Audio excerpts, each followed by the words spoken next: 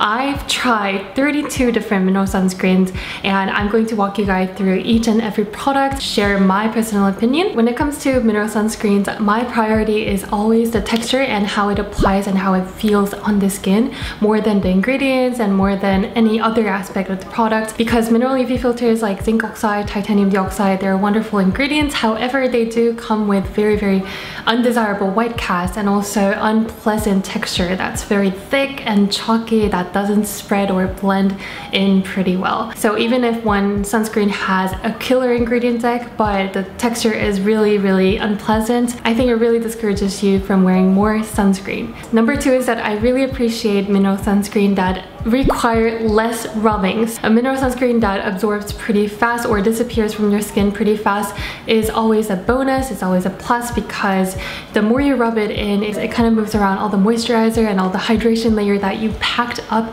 underneath. Number three, when it comes to ingredients, I really do appreciate the presence of antioxidants in sunscreen such as vitamin C, E, or other plant extracts that does have a really potent antioxidant power. It does boost the UV protection and also it stabilizes the entire formula. I divided all the products into five different product groups today. So the very first product group is oil in water that feels more watery than oily or greasy. So let's begin with this product group first. Starting off from Paula's Choice, I have two mineral moisturizers from the Calm Redness Relief range.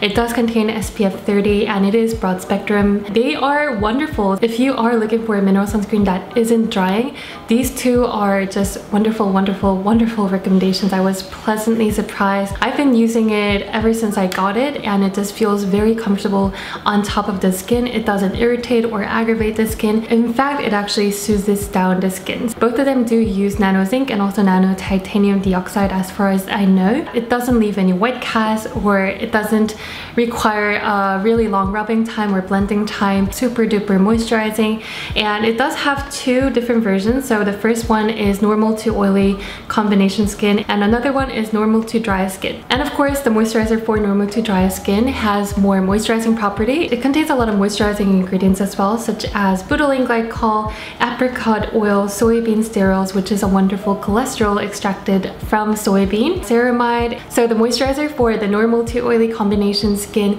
contains very soothing and very hydrating ingredients such as green tea leaf extract, chamomile, aloe vera juice, licorice root extract, extract, algae extract, panthenol, and it does set to a more matte finish. However, it's not uncomfortably drying at all. Dr. G Green Mild Up Sun SPF 50 plus PA 4 pluses which offers a great UVA protection. I love the texture of this. I love how it applies to the skin because it's very watery. It feels very hydrating as you rub it in. It absorbs pretty quickly and it sets down to a very very matte finish. It doesn't leave any white cast behind. However, it can be extremely drying. When I tried this first in wintertime, my face was almost tearing apart because it was so dry. I think it will do well in high humidity weather and for extremely oily skin. Your makeup doesn't stick or adhere well on top of this because it's so dry or it's because it's so matte. This product does have essential oils and it comes with a lot of other ingredients. So if you do have sensitive skin, this isn't the best option. Ooh, this one I really, really, really like. It is the Farmacy Green Screen SPF 30 Broad Spectrum Sunscreen and it does feel a lot similar to the Paula's Choice Calm Mineral Moisturizer's texture and how it feels on the skin. It's very hydrating, super cushiony. It just blends into your skin right away. It doesn't require a long time to absorb into your skin, which is always a plus. The white cast disappears as you rub it in. It does set to a matte finish, but it doesn't feel extremely dry. And Farmacy is known for their green field of Echinacea and they have this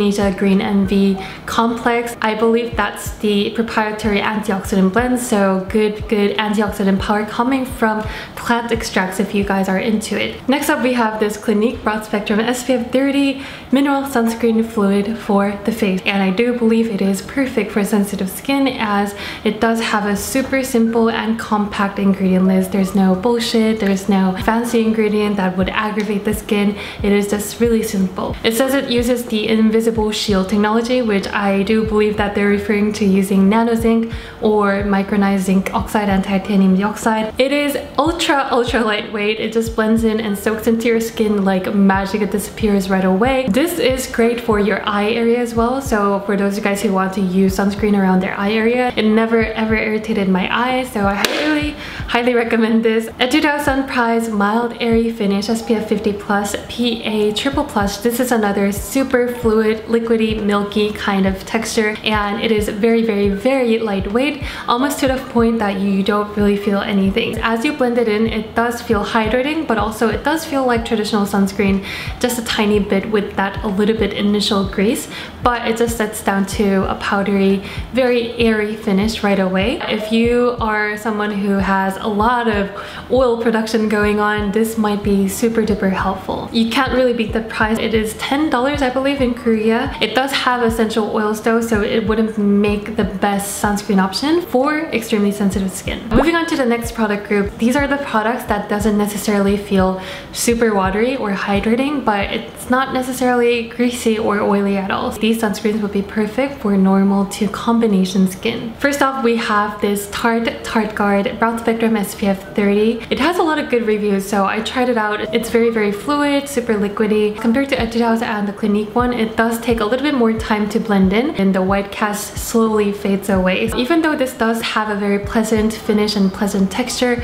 I don't know why, but when it comes to liquid sunscreen, I would much prefer the Clinique one or the Etude House one. I didn't really reach for this. Also, it does have a very interesting fragrance to it, which kind of smells like a sweet melon, which does throw me off a little bit.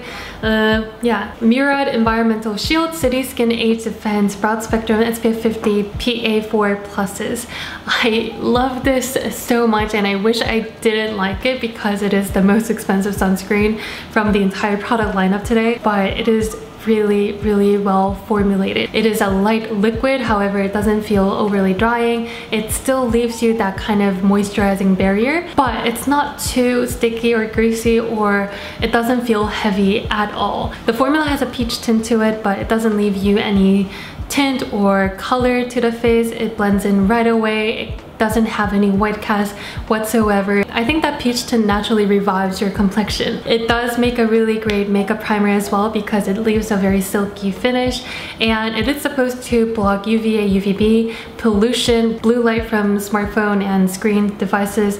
And it is supposed to block you from infrared radiation. It claims but I still question that aspect of the product because infrared is more like heat related. And even though I was testing a lot of mineral sunscreen this is the one that I always came back to on normal days when I'm not testing anything. I've never heard of this brand, but I found it from iHerb. So it's the My MyChelle Dermaceuticals Sun Shield Liquid SPF 50 Broad Spectrum, and I got this in the non-tinted formula. It is pretty white casty, but if you don't mind that kind of fairness, this might be a great addition. It does come in this shake it up bottle and it is a very fluidy, milky formula. Out of the entire liquid sunscreen, this feels slightly greasier. Once you apply it, it does feel hydrating, but it sets to a more greasy or sticky, tacky finish.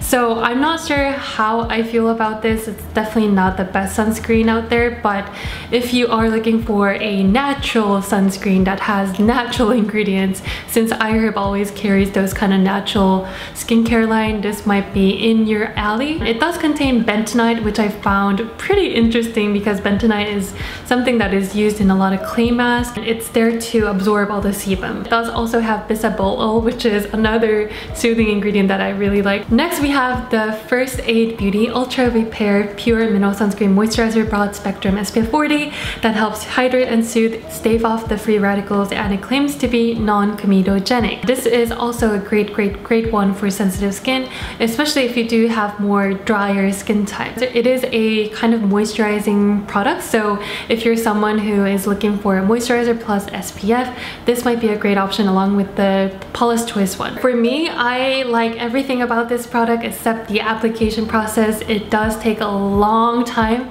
for you to rub it into your skin. So personally, I would choose Paula's Choice over this, but this has a lot of great soothing and calming ingredients such as colloidal oatmeal, urea, allantoin, avocado oil, and shea butter for nourishing and moisturizing. The white cast eventually goes away. It does leave your skin a little bit moisturized, but it doesn't make you look dewy or glowy. Drunk Elephant Umbra Tinte Physical Daily Defense Broad Spectrum Sunscreen SPF 30. This just makes me look like a disco ball and it is a tinted sunscreen and it does have a very terracotta brick red orange hue to it. If that's the look that you're going for, it might be great. And it does have fine shimmers in it, so this is not definitely for acne prone skin or sensitive skin type. But if you just want that kind of radiance and the glow and the dew from a sunscreen, this might be perfect.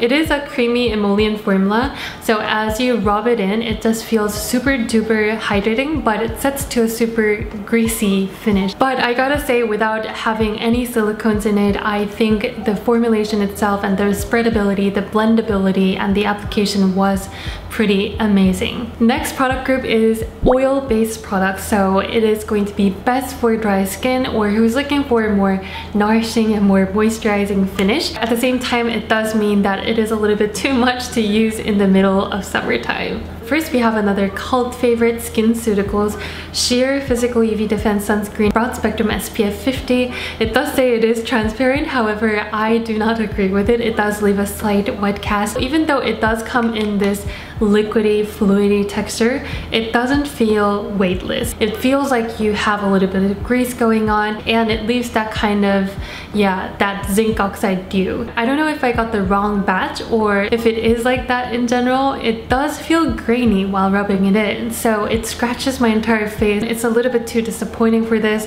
and I think there's definitely better sun liquids out there. Clinique also has another sunscreen fluid under the Pep Start range and this is SPF 50 so higher than the one that I had shown you guys. I really had high hopes because I really liked this so much but this just felt really wrong. While rubbing it in I was like oh this feels a little bit oily and greasy. And in fact it left a very greasy film on top of my skin which was too much for oily skin. But if you do appreciate that kind of shine and greasiness this might be your best friend but I I don't know. It just gave me some whitehead I needed to wash this off right away. Josie Maran Argan Daily Moisturizer SPF 47 I think this definitely has a very niche audience who really loves that kind of oily and greasy moisturizer that has argan oil in it. It is going to be perfect for winter time if you're looking for a more nourishing and more oilier sunscreen. To me, it was a little bit too intimidating. The texture, I would say it's more like a dense milk. It does spread easily, but it does take a little bit more time to completely blend it in.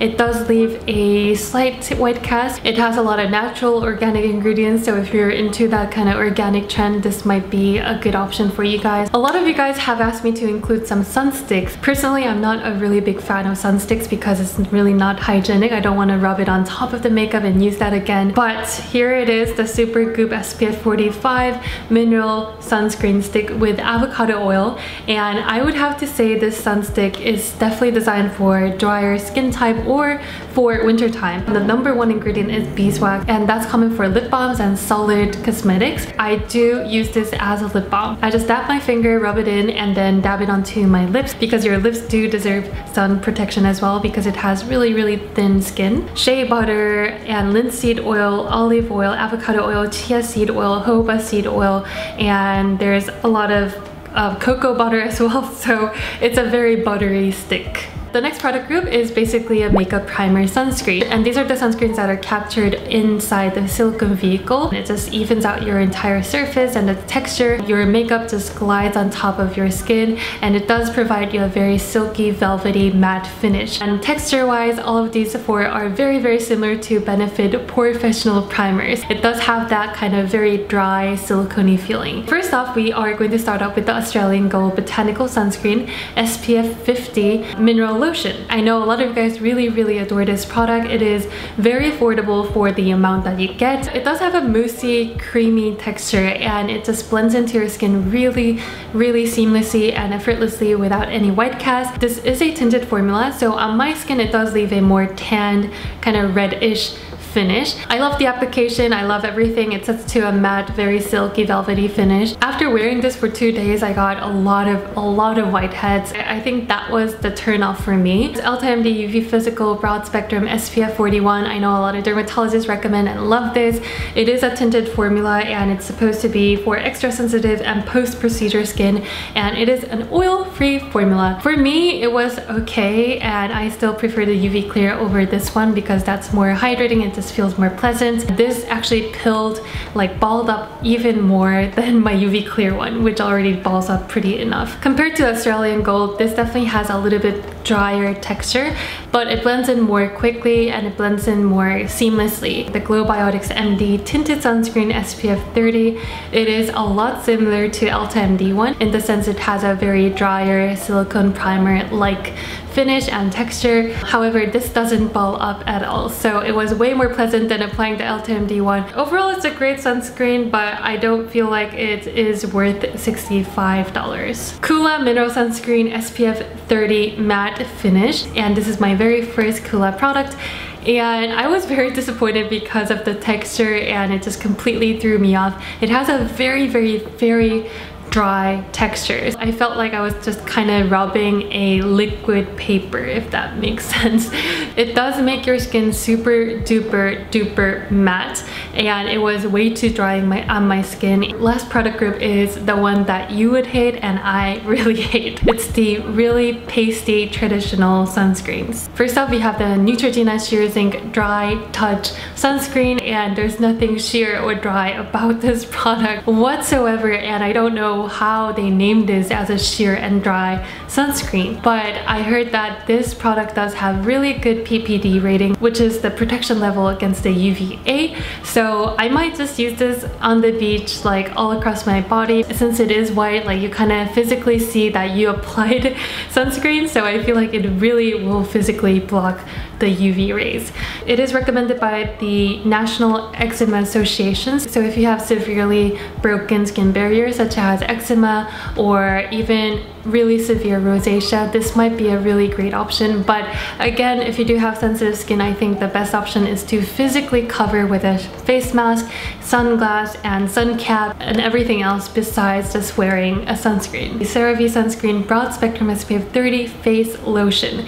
And I had high hopes for this because I love the entire concept of CeraVe. I love how affordable it is. They always use niacinamide and a lot of good ceramides and skin restoring property ingredients. Other than that, like this really wasn't special or it's not a pleasant sunscreen to apply on a daily basis. It's really thick and it's hard to rub it into your skin. So it definitely moves around your moisturizer and hydrating layers. I don't think it's a heavy, heavy cream, but it's still a creamy traditional sunscreen. Juice Beauty SPF 30 Mineral Moisturizer in Sheer. I really didn't like this. It's just way too traditional sunscreen like. It is so damn hard to rub it into your skin. It just takes a long time to actually get rid of the white cast and it doesn't necessarily feel moisturizing at all so I don't know what the purpose is for this and it has a really really really strong herbal scent which is a little bit too much. Now moving on to the product recommendations for each skin type. First off for oily skin. Second, normal to combination skin. Third, for dry skin. And if you do have extremely sensitive skin, these are the options that you guys can look for. And if you have dark skin, these are the sunscreens that wouldn't leave you any white cast. I really, really wish you found this informative because I spent a lot of time and also money on buying everything here. And if it was, please don't forget to share it with your friend. That really, really helps me a lot to just spread the name and spread the love. And if you were new to my channel, don't forget to hit that subscribe button and the bell button down below. And I'll see you guys on Instagram at Liah Yoo. Bye!